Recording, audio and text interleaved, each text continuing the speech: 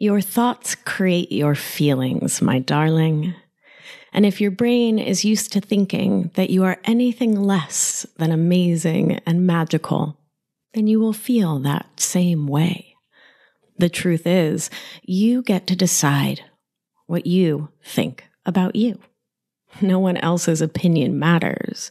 And when you think the very best of yourself, when you believe it in your heart, you are living with positive self regard and will take the courageous action you want and need to take to live the intentional life of your dreams.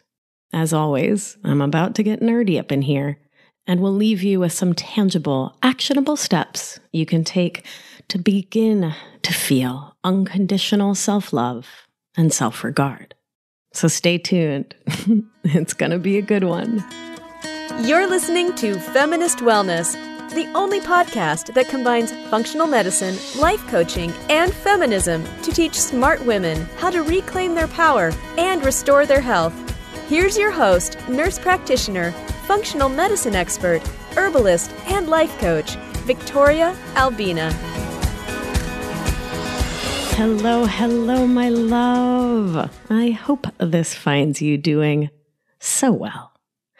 As I mentioned last week, we're coming up on February, and I'm going to be focusing this month on love because I love love.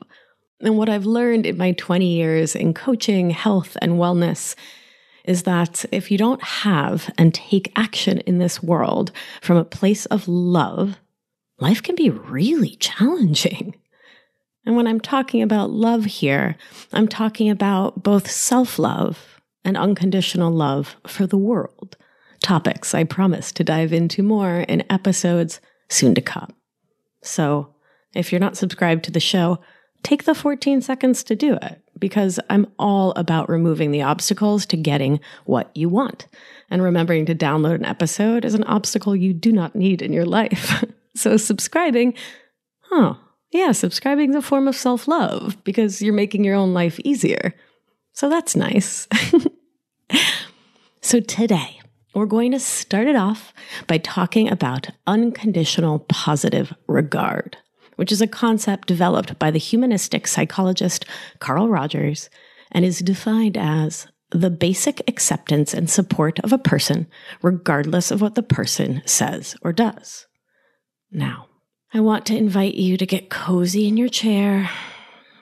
Close your beautiful eyes if it's safe to do so. Please don't if you're driving. And I want to invite you to take a deep breath in and out.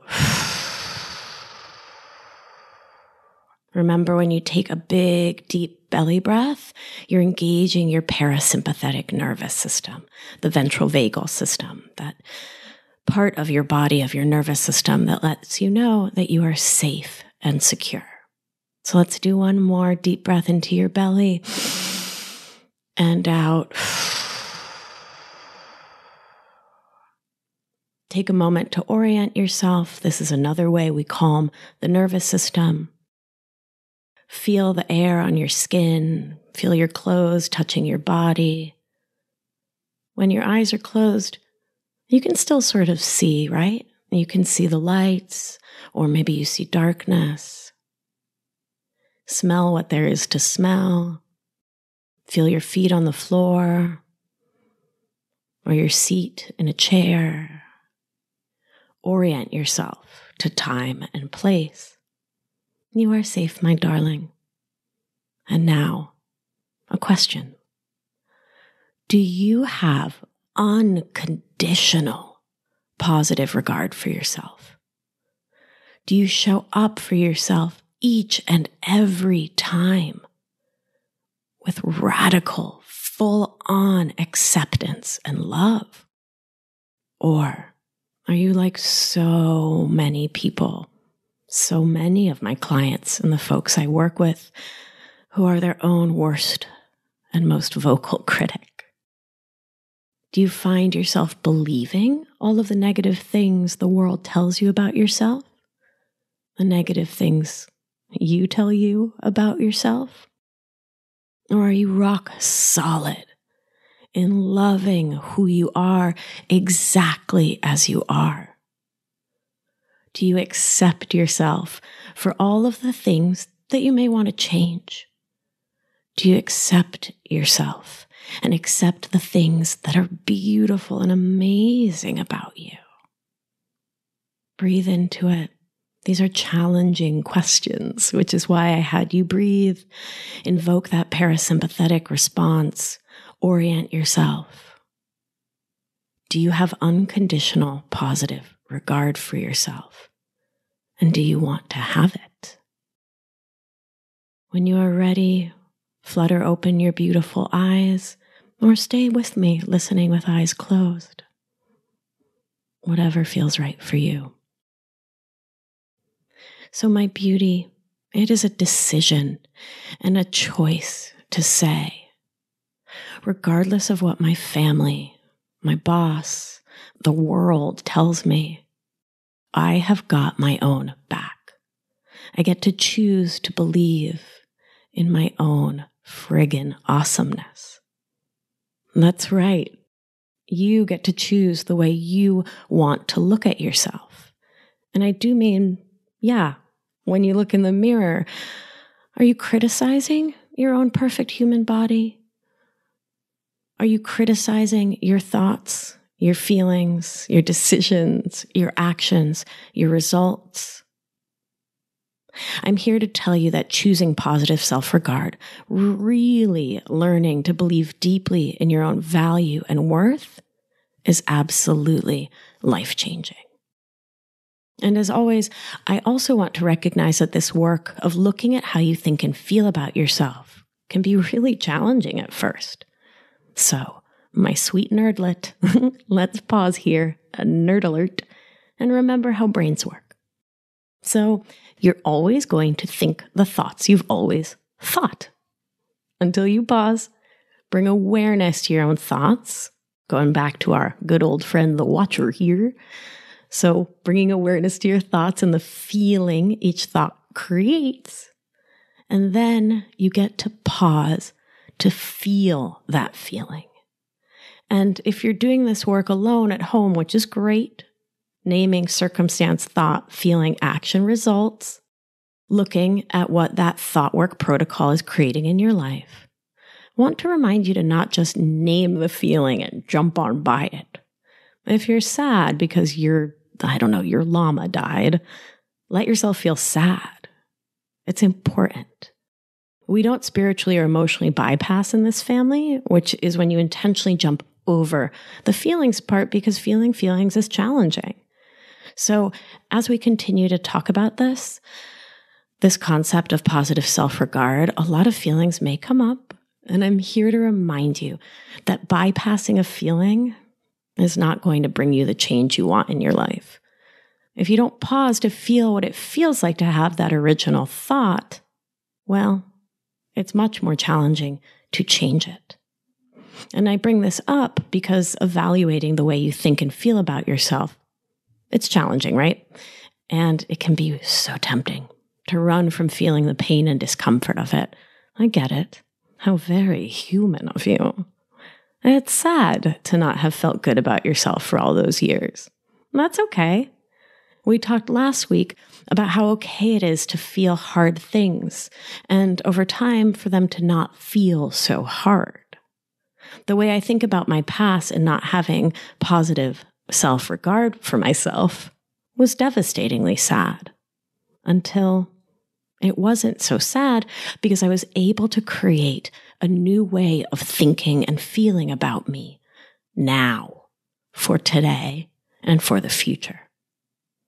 I'm part of coming to terms with not having had positive self regard in the past, and the past can mean 20 years ago, 10 years ago, 10 minutes ago, and accepting the truth of what was and is, which is step one in healing, is understanding with love and compassion how having negative self regard served me at the time that I had it.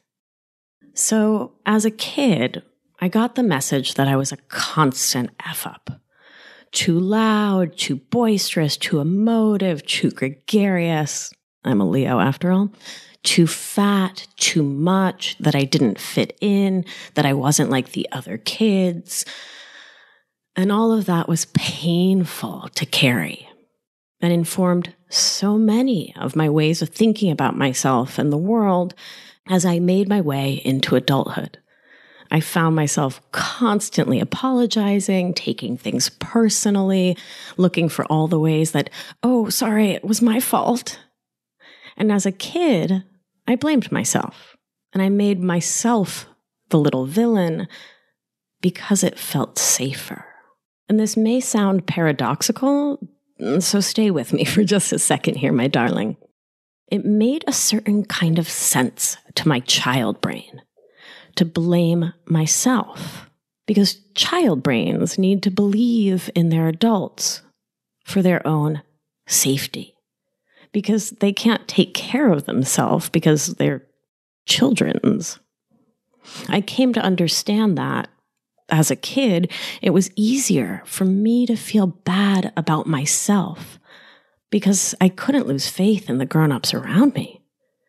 Questioning the emotional or physical safety of my caregivers, my teachers, my grown ups felt scarier to my child brain than blaming myself because of the math of being a kid. If you question your adults and they desert you or abandon you, then you'll be kicked out of the village and will, effectively, be left to die cold and alone on a mountainside. There's this instinctual knowing that you can't yet throw a spear to catch dinner. You don't really know how to fish. You don't know which berries are safe, and you sure can't keep the fire going overnight while also getting the sleep you need if you're actually alone in the world.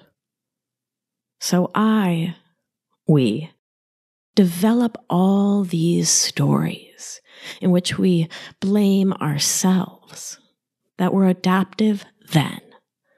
Stories that you're wrong or bad or unlovable, too fat, too thin, too loud, too quiet, because it felt safer to just believe that you're unlovable and to work hard to prove yourself rather than to think your adults won't take care of you. Those thoughts are maladaptive as an adult, which is to say, they don't serve you now because you can take care of yourself. You now have that developmental capacity, and you can choose your next adventure with full embodiment, empowerment, and faith in yourself, if you want to. And if you're curious about this concept of adaptive and maladaptive habits and thought patterns, listen to this episode and then make sure to go back and download episode 19, in which I talk all about it.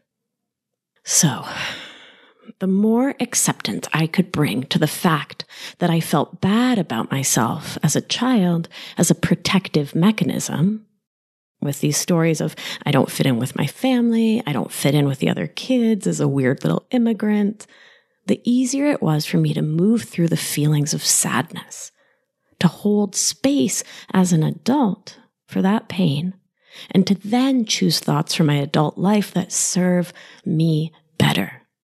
In short, don't feel bad about feeling bad. Don't shoot that second arrow, my love. It never serves you.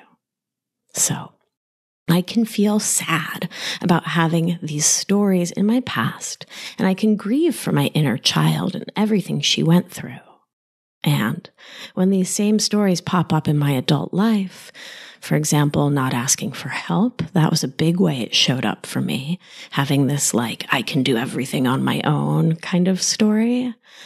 I can have compassion and understanding about where they came from versus judging myself for having these thoughts. I don't need to be mean to myself about the fact that those thoughts are there in my brain. Neither do you. I've said it before monsters under the bed are only scary until you turn the lights on. All those stories of negative self regard Again, I'm too fat, I'm too thin, I'm too loud, I'm too quiet, whatever those stories are, bring them to the light of day, my darling.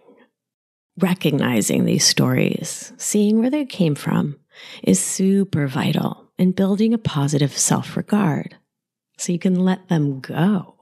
You can't change the stories you can't see. So, my love, give yourself permission to feel sad that you haven't had positive self regard in the past. And know that you can choose a different path now the path of acceptance and radical self love. Pro tip on this one if you're a person who tends to ruminate and to get lost in thought and feeling, consider setting a timer.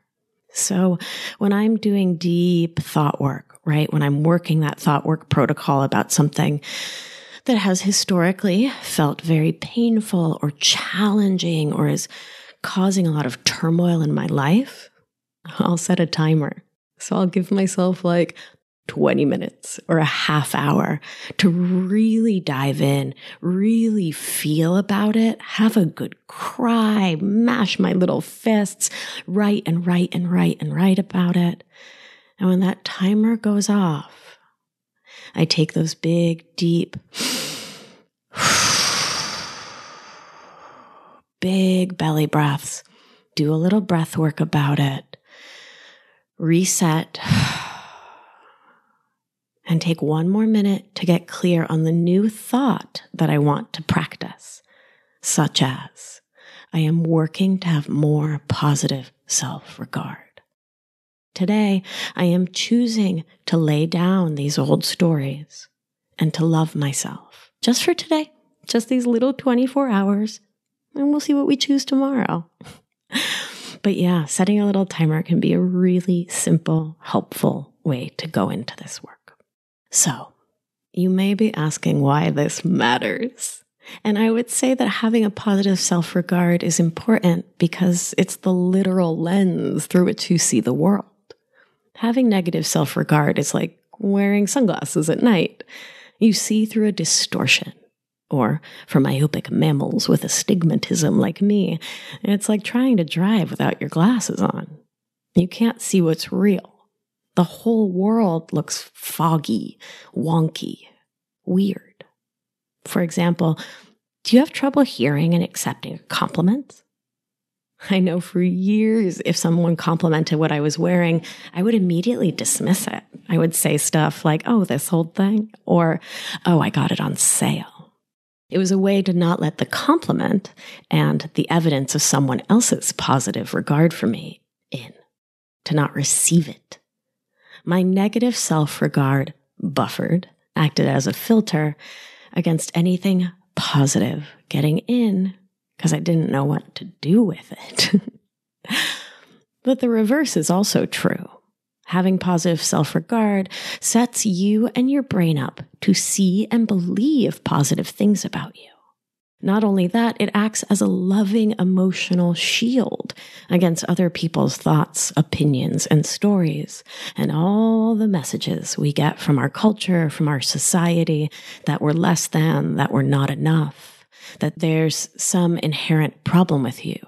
Perhaps you're a person of color, you were assigned female at birth, you're queer, you're trans, you're differently abled. The world loves to tell you to tell us that we are something less than magnificent. And having this positive self regard helps to buoy us up so that we can move through the world, not taking in other people's stories, letting them wash over your back like water off a duck. Again, I'm not here to say that shit doesn't hurt. It hurts and that's okay. And you get to turn back to your own self love to find the way to support yourself and to decide what thoughts you want to believe. When I was a girl, there were so many stories bandied about me that I was fat and that was a problem, that I was too loud, that was a problem. And again, because I was a child, I took these things on as truths and they fed into the side of the scales that tilted towards negative self regard. Somewhere along the line, I also learned that being a girl and then a woman meant that I was less than, that being queer meant that I was less than, that being foreign meant that I was less than. And it wasn't until much, much later, as a very much grown up, that I've been able to do the work of building positive self regard. For instance, those comments about my body and my weight used to hit home. They used to make me feel terrible and to want to change things about myself. I now recognize that it doesn't matter what anyone else thinks about my size, my shape, my weight.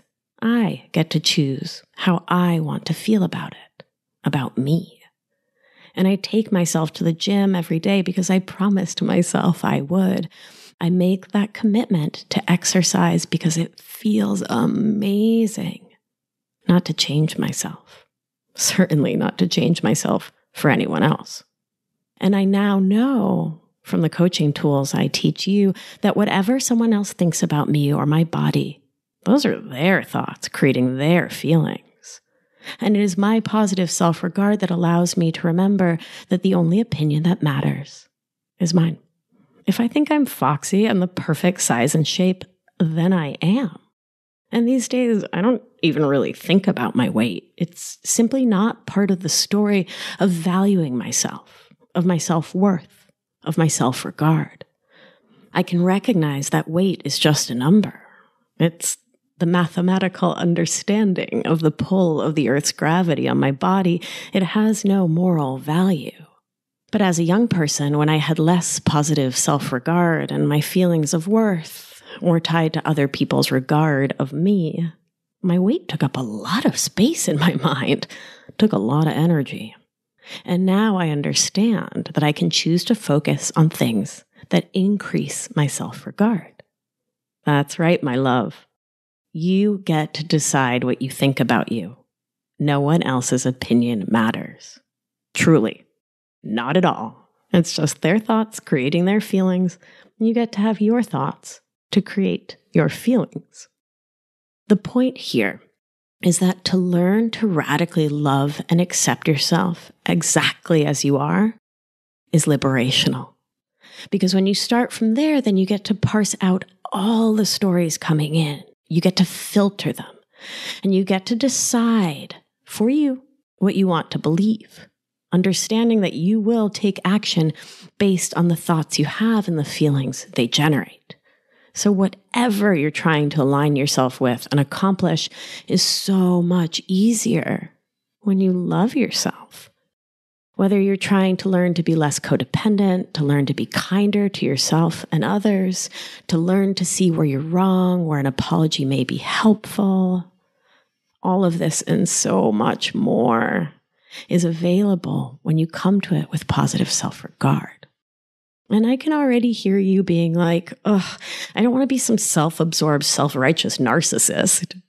this is the pushback I get when I say that you can love yourself without question. It's so funny. We spend all this time and money and effort trying to convince other people that we're like completely amazing. We have all the right trappings, right? The right, like, Brooklyn hipster hat, the right crystal, the right expensive bag, the right marriage, kids, house, picket fence. And when the invitation is for you to think that you are amazing, your brain goes right to like pathologizing, right? To being like, oh, if I think I'm amazing, then I'm going to be some egotistical narcissist. but it's just not true, my angel. We want other people to think we are amazing because we think that that will make us believe it ourselves. But that's the trap. It doesn't ever matter what other people think about you because you just get to choose your own thoughts, always. And I get that it can feel impossible if your long held story is that you're unlovable, not worthy of love, whatever it may be. But truly, coming to the world, to your work, whatever it may be, coming to your driving why, your passion, taking courageous action, and loving the people in your lives from a place of positive self regard, that is so beautiful. You're putting more love out into the world. You're helping to heal the collective unconscious. And I promise this will not turn you into a self absorbed, self righteous narcissist. Seriously. So, I think it's really important to talk about why people resist making this change, this shift to wildly, radically accepting yourself beyond this like surface story of like, oh, I don't want to be some egomaniac. You're not going to be just because you love yourself. and I think that the main reason people resist this is that it has to do with this false cognition. This belief that it's only by judging yourself, by having shame, guilt, or self loathing, that you'll be able to make change. That if you don't beat yourself up, you won't be motivated. You won't get things done. You'll amount to nothing. I hear this all the time from people who are chronic procrastinators. They say things like, I work best under pressure. If I'm not waiting till the last minute, I won't get anything done. You know, I don't believe in all of that. They're just thoughts. To apply this here to the question of positive self regard, it's often this thought that you need to improve yourself, fix yourself, because then you'll like yourself. And then you'll be worthy of your own positive self regard. What I offer you, my love, is that if you just choose to pause today, right now, in this little moment, and recognize that you're thinking about yourself as anything less than an incredible human is simply wrong. And if you're willing to be wrong about that, which we talked all about last week, then there's space to acknowledge that the opposite is true. You are completely amazing. You were born that way. And if you're not believing me at all, listen to episode 45. It's my love note to you. Maybe listen to it on repeat and let it sink in. You are so amazing. You living, breathing, moving, dreaming, doing, feeling, incredible mammal you. And to put a finer point on this thought problem that can keep us from feeling that radical positive self regard. And it truly is that your own self critical thoughts that have you thinking you're broken, need to be fixed, are actually what is keeping you from feeling good about yourself. Your thoughts create your feelings, create your thoughts, create your feelings. And if you want positive self regard, you get to release yourself from the grasp of those thoughts so you can start to do the thing that you most want to do. You get to start there. The further irony of all of this thinking that being harsh with or hard on yourself, thinking that you're stressed or anxious or overwhelmed, having shame, guilt, self criticism, believing that all of that is going to help you create positive action. Baby, that's the opposite of everything I teach. When you're mean to yourself, you feel bad about yourself. And then your actions are less likely to be aligned with what you actually say you want to do. Positive self regard not only feels better, but if we pull back and look at the think, feel, act cycle, it can support you to take courageous action. One of the most powerful ways this has shown up in my life is in my own healing journey. So, in my 20s, when I didn't have the same positive self regard I've worked to have now, I started to do the work of healing my gut. And once I finally found the right person to do the right test, we found a parasite. So I changed my nutrition, took all the supplements, and all of that was very helpful. But it didn't last. The beasts came back. And the change wasn't lasting because I felt like crap about myself and was continuing to send myself into either fight or flight, sympathetic activation, or dorsal vagal shutdown, which on the subconscious level sounds like, I give up. I'm just good for nothing. I'm never going to figure this out. I'll never do this right. Frankly, the lion can just come eat me now. also known as giving up and not taking the big risks, not risking failure by not taking courageous action. And both fight or flight sympathetic, and dorsal vagal shutdown are two states in which you cannot have a healthy digestive system. You cannot have a balanced mood, good energy, healthy adrenals and thyroid. You are fatigued on all, every level when you are in those states because you're supposed to be. Because you guessed it, science. And so it wasn't until I learned about nervous system dysregulation and how to regulate my nervous system, about the importance of attending to my inner child and giving her love as my own best parent. And it especially wasn't until I learned the think, feel, act cycle, the thought work protocol I love to teach you to manage my adult brain, that I was able to heal my gut for good by getting to the real root cause of my issues. No, not the parasite. No, not the imbalances in my gut microbiome, but my negative self regard. So, hopefully, you're sold on this concept of the importance of having positive self regard, and you're likely asking, Hey, Vic, how do I get more of it?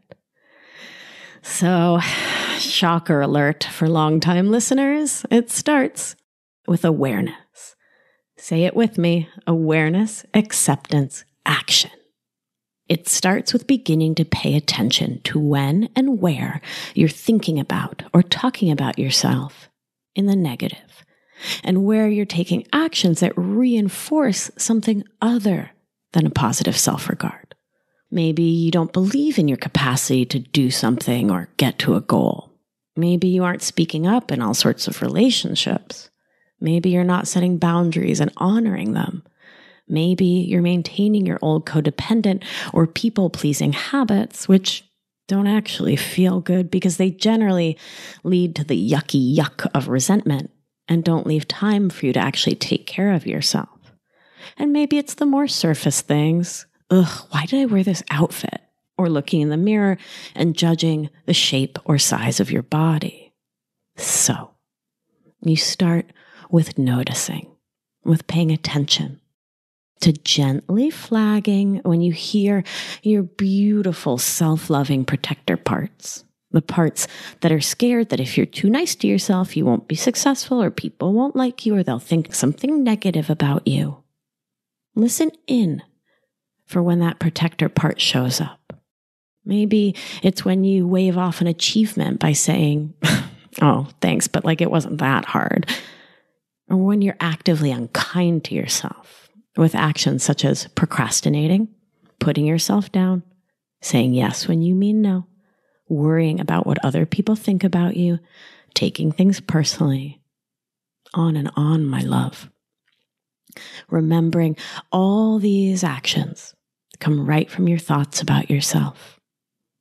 And as always, I want to say it clearly and once again there is nothing to be ashamed of if you don't have a positive self regard. Your thoughts come from somewhere very smart and served you well at some point in your life. So give yourself love. You're learning, you're growing, and that's a beautiful thing. And I want to offer you this. I'm here to support you, my love. I'm going to be doing a seven day positive self regard challenge over on the Instagram. So, from the day this podcast launches, January 30th, 2020, I'll be posting at least one amazing thing about me each day in my stories. And I want to invite you to join me. Excuse me post something, anything about you that is so great. And it can be super banal or super deep. It doesn't matter. Because this is the work of rewiring our brains to believe new thoughts. And as always, community is such a vital part of healing.